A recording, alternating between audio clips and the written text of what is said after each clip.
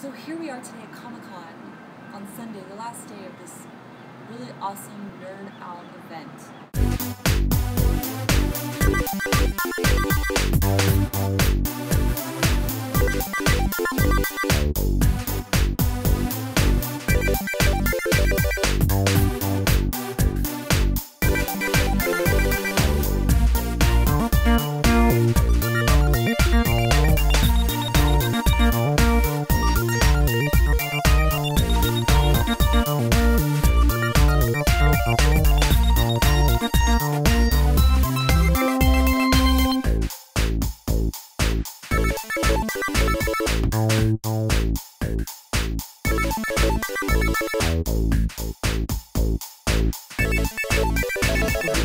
Thank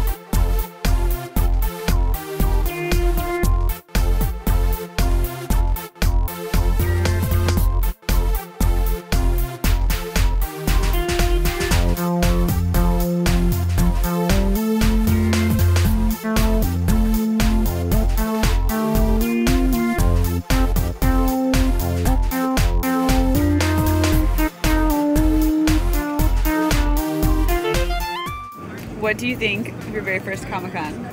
I thought it was pretty unique and trippy, and there were a lot of people, and it kind of freaked me out a little bit, but I made it through. There were a lot of really odd smells, kind of made me really scared.